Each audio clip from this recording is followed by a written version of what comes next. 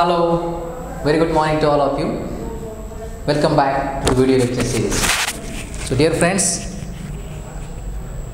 we are discussing here the food analysis part of our CHA 393B paper, and today we are going to see the last lesson, last chapter from this our syllabus, and the title of the last chapter is analysis of food preservatives. Okay so this chapter is totally related to the food preservatives. First of all let us see what is the meaning of food preservative. Or what are mean by preservatives? The name itself indicates that preservatives means these are the substances used to preserve the food. These are the substances or chemicals which are used to preserve the food for a longer period of time. During transportation or during storage until that food product goes into the consumption by a customer. Till that period that food product should not decompose by the microbial action or by the deterioration by enzymatic action. Okay? So this is nothing but food preservative so what is the actual definition scientific definition of food preservative? These are the substances or chemical substances or chemicals added to the food products. We are adding these substances not only the food products but we are adding also in beverages okay? Then uh, to the pharmaceutical drugs then different cold drinks okay so in all these cases we are adding food preservatives. Uh, we are adding preservatives. So what is the main purpose? So main purpose for adding these food pres- uh, preservatives is that to prevent decomposition by microbial growth. When a suitable condition is get acquired by the microorganisms then they may multiplicate they may get multiplicate and the multiplication changes. Multiplication of these microorganisms changes that food into a low quality or it may get decomposed okay? Or it may be due to the chemical changes means enzymatic action may be taken place and due to this enzymatic action this food may get decomposed okay? So food may get spoiled. For so for the to prevent the spoilage of that food we are adding here food preservatives and food additives are added to enhance the food quality and the flavor or the texture. Okay? So to, to enhance or to increase the food quality or texture or the flavor the food additives are added but food preservatives are, are, are added for the uh, for getting rid of the decomposition of food by different chemical microbial or enzymatic action here in our syllabus different food preservatives are given but the estimation of these food preservatives by specific methods we are going to study here. Okay? The first food preservatives is sulfur dioxide. So the sulfur dioxide is used as a food preservative in most of the different types of food.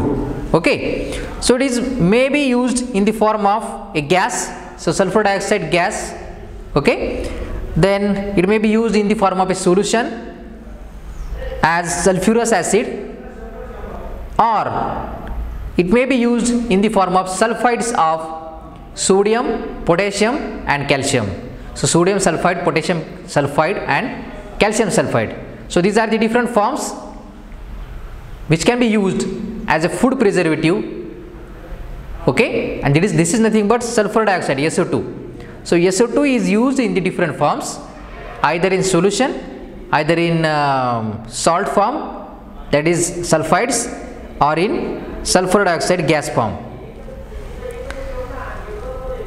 But for the purpose of regulations the amount present in the the amount present of this SO2 in food products is calculated as sulfur dioxide okay so maybe forms of SO2 preservatives used in food products may vary, but the determination or estimation of that preservative is done as per regulations, as per legislation is in the form of SO2. This sulfurous acid present in the foodstuffs is acting as a preservative by controlling or limiting the growth of mold, one of the type of fungi, yeast and aerobic bacterial and aerobic bacterial decomposition and prevents browning of fruits and vegetables. So, it is also preventing the browning of fruits and vegetables. Means what? When we um, cut an apple okay or a, any fruit let us say guava or apple and if we place that food in an open place in the open atmosphere for a period of more than half an hour then after some time you may observe that the outer surface that is the cutted surface may get browning. Okay. So what is this? This is the browning of fruits. This is due to the different enzymic enzymatic actions which are taken place in that food. So this is avoided by the use of sulfur dioxide. Okay. Now this Tanner's method. This Tanner's method is used for the estimation of sulfur dioxide okay? So sulfur dioxide can be estimated or can be determined with the help of a Tanner's method. Different methods are there for the estimation of this SO2 but this Tanner's method is one of the best method for the estimation of SO2 okay? What are the reagents for this Tanner's method? Phosphoric acid. So 88% phosphoric acid solution is used for this method. Second reagent is hydrogen peroxide solution it is 0.2 percent weight per volume. 0.2 percent weight to weight per volume means 0.2 gram of uh, hydrogen peroxide taken in 100 ml of water. So it is 0.2 percent solution. Then NaOH solution having molarity 0.01 molar. Okay sodium hydroxide is it is 0.01 molar molarity then methanol which is of AR grade. This solvent methanol solvent is used. Then mix indicator is used in this Tanner's method and this mix indicator is made in this way. Take 50 ml of 0.03 percent ethanolic methyl red indicator. Okay? So this is first solution. 50 ml of 0.03 percent ethanolic methyl red indicator solution. And to this add 50 ml of 0.05 percent ethanolic solution of methylene blue indicator. Okay so methyl red and methylene blue these two indicators solutions have been made in ethanol. Have been made in ethanol. Okay so ethanolic solutions are made. Okay and the percentage are given in this case. Okay so the total it will give you 100 ml solution and after mixing it filter it and you, you will use this. The filtrate you can use this for the titration purpose. Then these are the reagents used in this Tanner's method. The method what is the procedure? Weigh if it is solid in nature if the sample is solid in nature or you have to weigh or if it is liquid in nature you have to pipette out. So pipette out or weigh a specific quantity of sample. A specific quantity of sample. Note down it in distillation flask and add distilled water and 50 ml methanol. Okay? So you have to add distilled water and 50 ml methanol in this distillation flask. So the assembly or the laboratory setup for this Tanner's method for the estimation or determination of sulfur dioxide present in the food sample. Okay? This sulfur dioxide is, is used as a preservative in food samples that can be determined by the Tanner's method. The assembly is set up is like this which is shown in this diagram. Okay? So this is burner. This is distillation flask. It is just like a distillation flask distillation assembly but it is a modified distillation assembly. Okay? So distillation uh, flask is there and the, it is three neck flask. Okay uh, so on the top of this distillation flask the condenser is adjusted. Okay? One side arm is there for the nitrogen purging nitrogen gas purging for the inert atmosphere. And for in one another side arm is there for the attachment of dropping funnel. Okay? And this through this dropping funnel we have to add your phosphoric acid solution. Okay? Heating assembly is there. With the help of burner we can heat this uh, distillation flask content okay. Then uh, water condenser is there. This is the inlet. This is the outlet. This is the inlet of water. This is the outlet of water. Water condenser is there. So this is the assembly. And this is the vapors is then uh, attached. Vapor then passes through this distillation receiver. Okay. So distillation receiver is there okay? So the shape of this distillation receiver is like this. And this is nothing but a guard wash bottle. This is nothing but a guard wash bottle. Okay? So this is the typical assembly for the tanner's method. Now let us see the procedure. So here the first step is we, we have to add we have to take weigh or pipette out a sample food sample and taken it in a distillation flask. Then to this distillation flask add distilled water as well as 10 ml sorry 50 ml methanol. AR grade 50 ml methanol where you have to add. Then before going to start heating first of all you have to add some reagents or chemicals that we have discussed here. That reagents you have to add in this distillation receiver. Okay what are these reagents?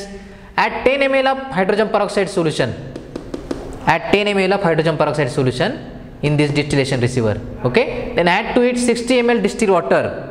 Then add a few drops of mixed indicator. A few drops of mixed indicator is added here. Then a few drops of NaOH solution. Few drops of NaOH solution is also added in this distillation receiver to produce a green color okay? Now again add 10 ml of neutralized H2O2 10 ml of neutralized hydrogen peroxide solution is added in this guard wash bottle okay?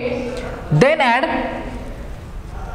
15 ml phosphoric acid 15 ml H3PO4 solution that is phosphoric acid solution is that added with the help of this adding addition funnel or dropping funnel okay? With the help of this pinch cock you have to add dropwise this addition uh, 15 ml of uh, sulfuric acid uh, sorry phosphoric acid to this distillation flask. Okay?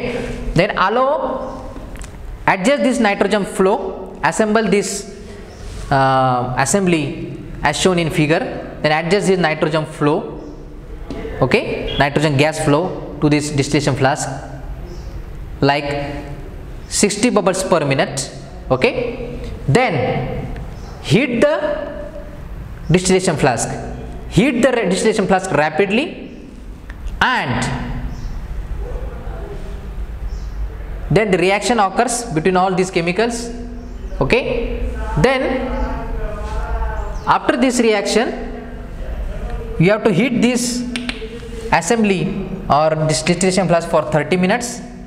Then after 30 minutes whatever the reaction mixture or whatever the uh, contents in this distillation receiver that we have to determine okay? Then detach this distillation receiver from this assembly okay? Then titrate the sulfuric acid which is present in this distillation receiver. After this reaction whatever the sulfuric acid present in the in this distillation receiver you have to titrate this sulfuric acid with 0.1 molar NaOH solution 0.1 molar sodium hydroxide solution so this is a simple acid bed acid base reaction titration is there and uh, the acid is phosphoric acid sorry acid is sulfuric acid which is formed by the reaction of phosphoric acid that we have take taking here and the self SO2 gas which is present in our food sample. This is the reaction between SO2 gas present in our food sample and the phosphoric acid that we are adding from the dropping funnel in this distillation flask. After heating and a reaction, okay, we are having a sulfuric acid okay form in this distillation flask it is then transferred to a distillation receiver and this uh, sulfuric acid which is present in this distillation receiver we have to titrate it against sodium hydroxide 0.1 molar solution okay with the help of mix indicator that is methyl red and methylene blue indicator until the indicator shows green color until your solution turns green. Okay. So this is the simple Tanner's method for the determination of SO2 then calculation part. Okay. So SO2 amount of SO2 present in the food sample or food stuff can be calculated as A into M small a into M small a into capital M into 32 32 into 1000 divided by divided by q divided by q. So this is the formula for the estimation of SO2 by Tanner's method. Estimation of SO2 by Tanner's method. Okay. So what is A here? A is nothing but volume of NaOH in ml A is nothing but volume of NaOH in ml M is molarity of NaOH solution that is sodium hydroxide solution that is 0.01 molar. Okay. Then 32 into 1000 divided by Q. Q is the amount of sample in gram or in ml amount of sample in gram or in ml okay that is weight of sample in gram or in volume of sample in in ml okay. So from this calculation we have to determine the amount of SO2 present in this food sample by Tanner's method. Okay. So this Tanner's method is one of the most important procedure for the uh, uh, SO2 determination. SO2 is used as a food preservative in our food sample. Okay. So this is the important procedure for the um, food preservative. Okay? Thanks for watching this video. Have a nice day